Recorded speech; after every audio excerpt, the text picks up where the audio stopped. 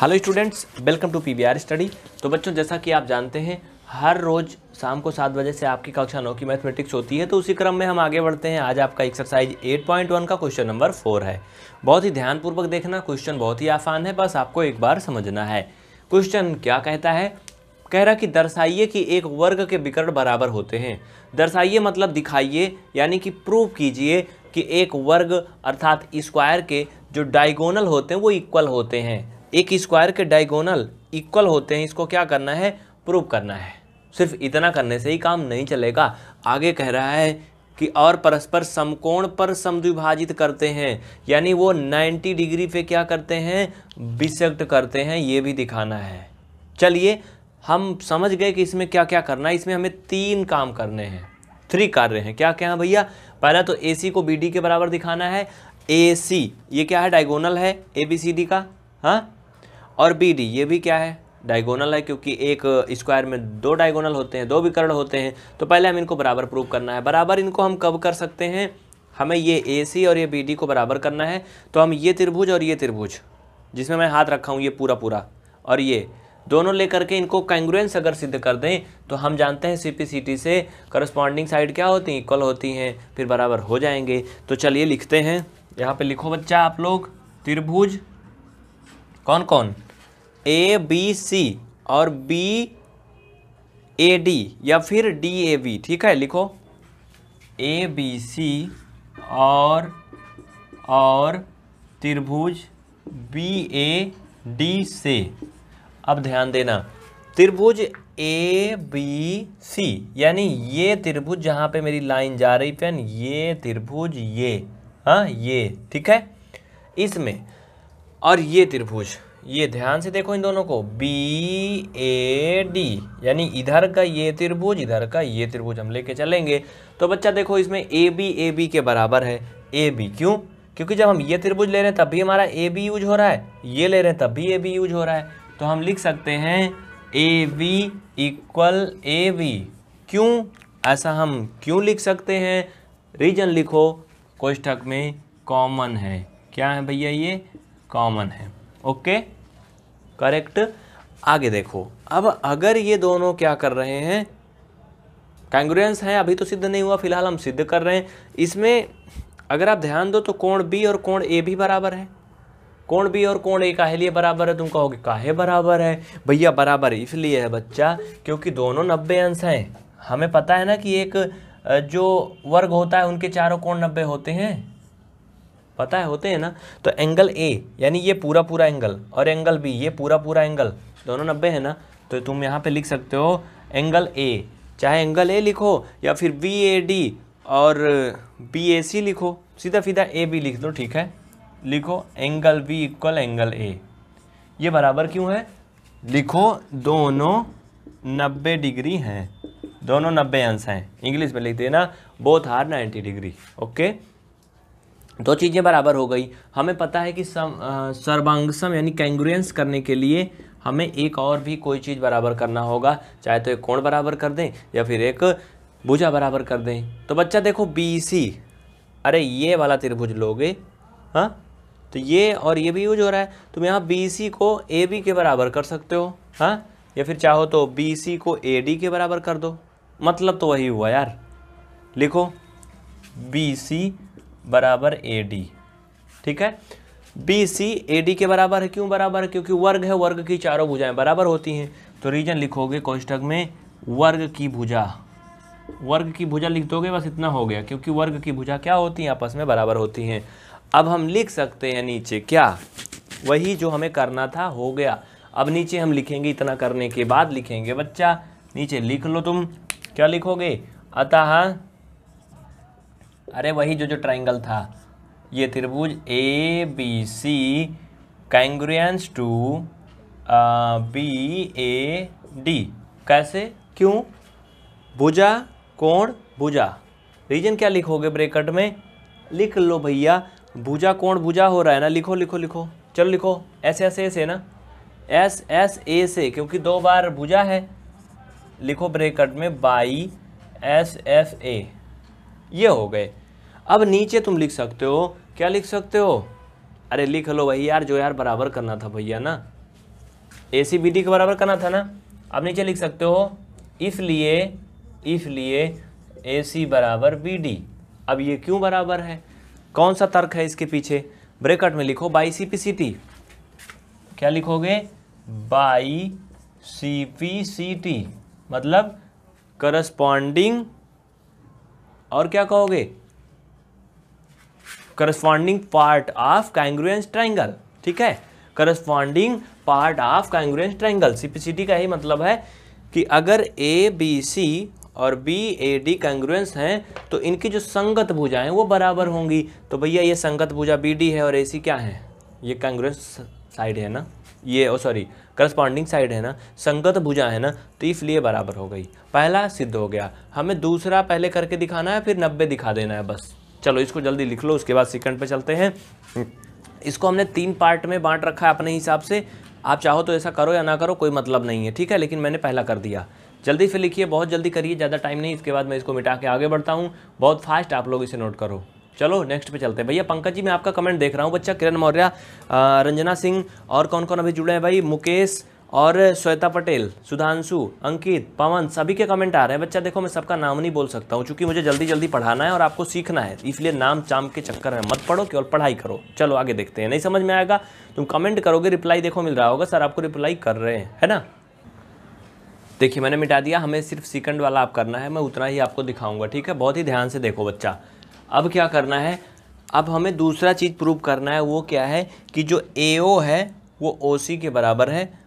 O B जो है वो ओ डी के बराबर है। हमें ये प्रूव करना है कि जो वर्ग के डायगोनल हैं स्क्वायर के जो डायगोनल हैं विकर्ण हैं वो एक दूसरे को बिसेक्ट करते हैं समझुभाजित कर रहे हैं बराबर बराबर भाग में बांटते हैं हमें ये प्रूव करना है। इसके लिए हम क्या करेंगे? ए ओ बी ये त्रिभुज लेंगे और सी ओ डी ये त्रिभुज लेंगे। और अगर हम ये दोनों त्रिभुज ले लें तो हमें क्या मिलेगा?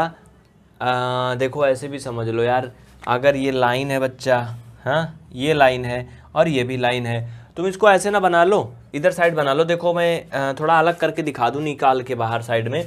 ऐसे देखो, जो जो हम ले रहे हैं, अगर उसके अकॉर्डिंग हम इनका फिगर बनाएँ तो ये कुछ ऐसे बनेंगे। देखो, ऐसे बनेंगे कि नहीं बनेंगे? तुम मुझे ये बताओ। ऐसे बनेंगे ना? बनेंगे ना? यानी जो ये एंगल है, और इधर साइड का अगर तुम देखोगे तो ये एंगल हाँ? और इधर साइड का ये एंगल और इधर साइड का ये एंगल ये क्या बनेंगे? भैया, इन्हें ध्यान से देखो, अगर दो समांतर लाइन है, उनको कोई त्रियक रेखा काटती है तो क्या होते हैं? जो एंगल बनता है, वो क्या होता है? एकांतर कौन होता है। बोलो, होता कि नहीं? बेसिक कॉन्सेप्ट सीखे हो तो बता दो, नहीं सीखे हो तो जाने दो। चलो देखो तो अगर हम इनके कोणों को काउंटिंग कर लें, इसको मान लो एंगल ए मान लें, इसको इधर मान लो एंगल टू मान लें, ठीक है? उधर तीन मान लें, एक को फोर मान लें। देखो, अब इसको हम क्या करेंगे? हमने इसको वन मान लिया, इसको टू मान लिया। इसको मान लो तीन मान लें, इसको चार मान लें। हमने क्या किया कोणों की काउंटिंग कर लिया? तो इसके अकॉर्डिंग अगर तुम इनको यहाँ निकालोगे तो यही चीज़ तो बनेंगे। एक तो ये तीन, या चार। बोलो, यही कोण बनेंगे ना? तो तुम क्या कर सकते हो भाई इनके अकॉर्डिंग चलो यहाँ पे लिखो त्रिभुज। ए ओ बी तथा लिखो। बी वाला पार्ट है ना, लिखो। त्रिभुज ए ओ बी तथा तथा त्रिभुज सी ओ डी से, तथा त्रिभुज सी ओ डी से। अब ध्यान दीजिए, क्या करना है इनको? बहुत ही प्यारे ट्राइंगल हैं ये। ये मैंने इनको अलग अलग निकाल लिया। ये ट्राइंगल और ये ट्राइंगल डमरू जैसे बना है ना। अब इनमें हमें देखो, कोई भी साइड हम काट नहीं सकते हैं। अब अगर तुम ये देखो, बच्चा मान लो इनके नाम मैं लिख देता हूँ ए बी और इनके नाम सी डी तो तुम ये देखो ए बी और सी डी दोनों पैरेलल लाइन है, दोनों पैरेलल हैं। उनको एक रेखा ए सी क्या कर रही है? जोड़ रही ना? मतलब त्रियक काट रही ना? या फिर ऐसे ले लो बी डी क्या है? भी एक रेखा इनको क्या करे त्रियक काट रही है। तो इनके ऊपर जो ये कोण बन रहे हैं, तीन और एक, ये किस प्रकार के कोण है? एकांतर कोण है ना? तो तुम क्या लिख सकते हो यहाँ पे? यहाँ लिखो angle one equal angle three ये बराबर क्यों होंगे? अल्टरनेट इंटीरियर एंगल हिंदी में लिखो, अंत आंतरिक कोण। अंत आंतरिक कोण। इंग्लिश वाले बच्चे लिखेंगे। क्या लिखेंगे? अल्टरनेट इंटीरियर एंगल ओके ये हो गया बराबर। इसमें और भी चीज़ें बराबर हैं। वो कहाँ बराबर है बच्चा? ए बी ए बी के बराबर है। ये ए बी ए बी के बराबर है। देखो, काहे बराबर है? ए बी ए बी नहीं यार sorry A B C D के बराबर है। क्यों बराबर है? हमने ये ट्राइंगल ये ट्राइंगल लिया है। तो बच्चा, इसमें अगर तुम देखोगे तो ए बी सी डी के बराबर है कि नहीं है? कहोगे, काहे बराबर? चूँकि एक वर्ग है। वर्ग की तो चारों साइड इक्वल होती ना। तो तुम लिखो यहाँ पर A B equal C D reason में लिख लो, वर्ग की भुजाएँ। ठीक है? वर्ग की भुजाएँ। वर्ग की भुजाएँ आपस में क्या होती हैं बच्चा? बराबर होती हैं। इतना ही नहीं। जैसे तीन और एक बराबर है, वैसे दो और चार भी बराबर है। लिखो। Angle two equal angle four. ये क्या है? ये भी वही है। अल्टरनेट इंटीरियर एंगल, अंत आंतरिक कोण। लिखो, अंत आंतरिक कोण।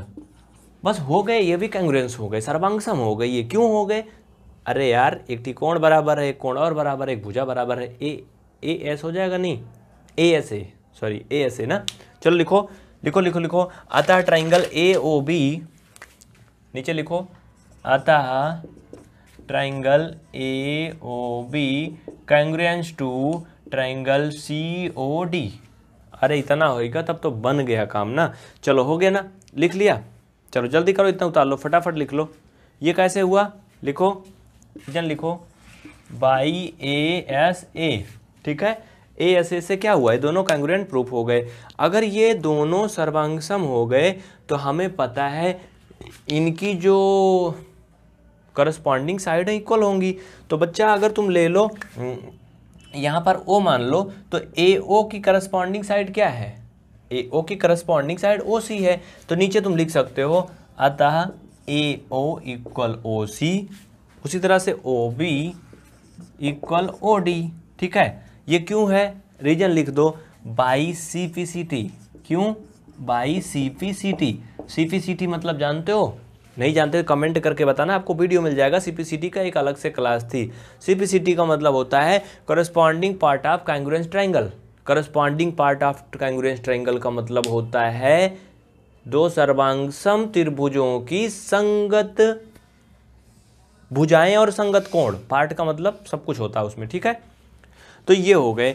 यानी हमने इनको ये भी प्रूव कर दिया। कि ये दोनों एक दूसरे को समद्विभाजित करते हैं, वो भी प्रूफ हो गया। इसके अलावा वर्ग की जो भुजाएँ हैं, वो दोनों आपस में एक दूसरे को बराबर जगह पे काटते हैं, ये भी प्रूफ हो गया। ये सारी चीज़ें हो गई, एक चीज़ अभी बाकी है। क्या कह रहा था? परस्पर समकोण पर समद्विभाजित करते हैं। ये परस्पर समद्विभाजित करते हैं, ये तो प्रूफ हो गया। हाँ लेकिन समकोण पर नहीं हुआ। उसके लिए हमें अभी एक काम और करना है। हमें दो ट्राइंगल इसमें लेकर के बच्चा, इनको एक बार फिर से और जो बच्चे हुए हैं उनको कैंगुरेंट करना है, उसके बाद फिर ये नब्बे के बराबर आ जाएँगे, तब हो जाएगा प्रूफ इतना लिख लो, उसके बाद आगे बताते हैं। जल्दी करो, लिख लो, फटाफट लिखो। हो गए ना? बहुत जल्दी करो स्क्रीन ले लो भैया, जल्दी करो। और हाँ जो बच्चे चैनल को सब्सक्राइब नहीं किया, अगर इसे यूट्यूब या फेसबुक पे डेमो के रूप में देख पा रहे हैं तो चैनल को सब्सक्राइब और फेसबुक पेज को लाइक ज़रूर करें। वीडियो का डिस्क्रिप्शन देखें, उसमें बहुत सारी डिटेल दी गई, आपके काम की है। चलो जल्दी आगे करो। देखो बच्चा, एक बात और समझ लो। इतना करने के बाद तुम इसको पहले ना लिखना, अभी ये लाइन। इतना जो भी मैंने नीचे किया था, उसको करने के बाद आप लिख लेना। अतः सिद्ध हुआ कि विकर्ण एक दूसरे को समद्विभाजित करते हैं। अतः सिद्ध हुआ कि विकर्ण एक दूसरे को समद्विभाजित करते हैं। लेकिन ये कह रहा था समकोण पर करते हैं, इसलिए अभी हम समकोण नहीं सिद्ध किए हैं। उसको भी दिखा देते हैं अलग अलग पार्ट में, ठीक है? चलो। अब हम ए ओ बी यानी ये त्रिभुज लेंगे और ए ओ डी यानी कुल मिलाकर के हमारा ट्राइंगल ऐसे बनेगा। इसको अगर मैं अलग से बनाना चाहूँ तो कुछ ऐसे बनेगा। इसको आप ध्यान से देखो, कुछ ऐसे बनेगा बच्चा। हम इतने में ही सब कुछ लेंगे। हाँ ये। हम इतना ही त्रिभुज लेके अब हल करेंगे। ऐसा क्यों करेंगे? क्योंकि हमें दिखाना है कि 90 पे करते हैं तो हम जो भी लेंगे एक ही तरफ़ का लेंगे। अगर हम एक इसको ले लें और एक इसको ले लें, तब तो हो सकता है, ठीक है। एक इसको एक इसको ले लें, नहीं होगा। ठीक है? मतलब एक ही का होना चाहिए। तो हम ए ओ बी और ए ओ डी दोनों में लेके चलेंगे तो क्या होगा? चलो ध्यान से देखो, लिखो यहाँ पर ए ओ ए ओ बराबर है। ए ओ इक्वल ए ओ कौन? ए ओ अरे यार, ये वाला लोग, ये वाला लोग दोनों में कॉमन है ना? लिखो कॉमन है। रीजन लिखो कॉमन ब्रेकट में लिखो कॉमन है। क्या बच्चा, ये कॉमन है। ये हो गया। इसके अलावा अभी अभी हमने ए बी और कौन कौन था? ओ बी और ओ डी को पहले से प्रूव किया ना? ओ बी और ओ डी इसको हमने पहले से प्रूव किया है कि दोनों बराबर हैं। लिखो O B equal O D reason लिखो, पहले सिद्ध कर चुके। प्रूव्ड ऑलरेडी हाँ ठीक है? पहले सिद्ध कर चुके हैं। अभी अभी ऊपर मैंने इसको प्रूव किया था ना। इसके अलावा ए बी और ए डी भी बराबर हैं। क्यों? क्योंकि इसमें तो कुछ कहा ही नहीं जा सकता क्यों बराबर हैं। ए बी ए डी ये वर्ग की भुजा है। कहाँ है भैया? वर्ग की भुजा है। तो बेटा ये हो गया। अब क्या कर सकते हो तुम? अब ये कर सकते हो, लिख सकते हो कि त्रिभुज ए ओ बी त्रिभुज ए ओ बी कंग्रुएंट है ए ओ डी के।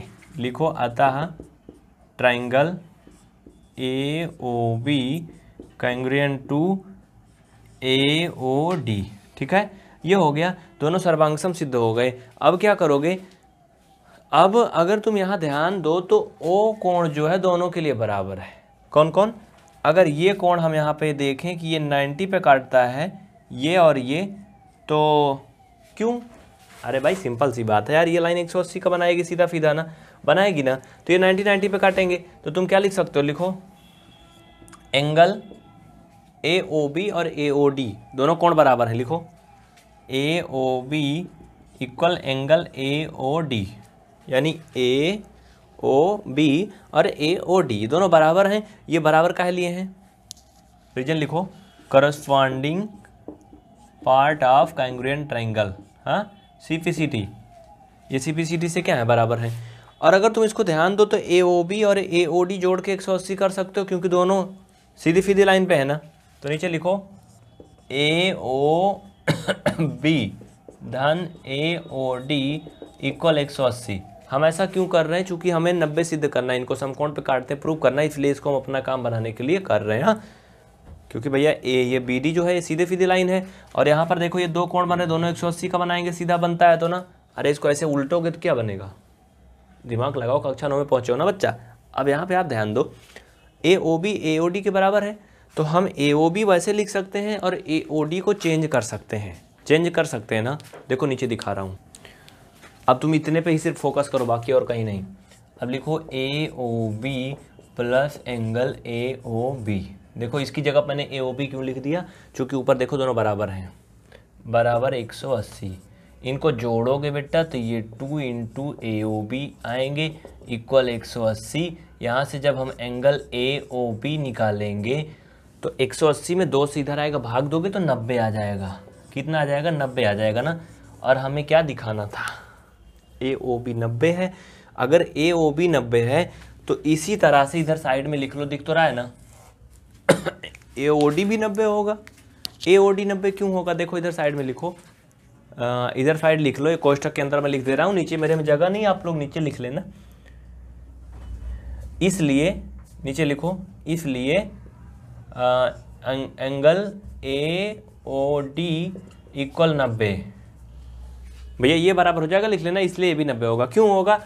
रीजन लिखो, क्योंकि क्योंकि angle A O B equal angle A O D ठीक है? नीचे लिख लेना, क्योंकि दोनों बराबर हैं। अब ये दोनों बराबर हैं, बस हो गया प्रूफ लेकिन इसमें तुम क्या और कर सकते हो बताओ? कुछ कर सकते हो? हाँ कर ये सकते हो। अब इतना हो गया, आप नीचे लिख दो। अतः, ऐसे लिख दो, इसलिए ए सी ये परपेंडिकुलर है ए डी पर। यही करना था ना बी डी पर था सॉरी बी डी पर। ए सी परपेंडिकुलर किस पे है? बी डी पर। ठीक है? ए सी जो है वो बी डी पे क्या है? परपेंडिकुलर है। ये चीज़ तुम दिखाओगे हाँ? ठीक है? बी डी हमें ये तो प्रूव करना था, बस हो गया। हो गए ना सारे पार्ट इसमें जो भी करने थे। एक नज़र में पूरा क्वेश्चन देख लो। अगर कहीं कोई डाउट है तो बता देना। जल्दी करिए, पूरा क्वेश्चन देखिए। एक नज़र में पूरा सवाल देख लो जल्दी से फट से, उसके बाद इसको नोट कर लो। देखो